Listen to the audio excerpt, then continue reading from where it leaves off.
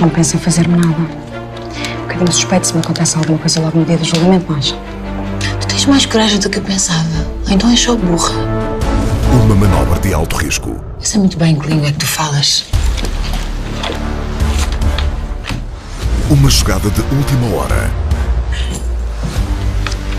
Isto é para quê? Para desapareceres. Chegou o grande dia. Olá, Pilar. Então, vais para o tribunal? Vou, porquê? Acho só que vamos todos perder o nosso tempo. Francisca não arrisca nada. Pronto, ela nos balneários não está. Não acredito que ela me está a fazer uma coisa destas. No dia do julgamento, A Clara acabou de me confirmar. A miúda não está no ginásio, lá ninguém sabe dela. está tudo controlado. Onde é que está a Joana? Francisca? Onde é que ela está? A Joana ainda vai aparecer. E tu vais ter que me explicar isto, Francisca, ouviste? Teve alguma coisa a ver com o desaparecimento desta rapariga? Não confirmo nem desminto.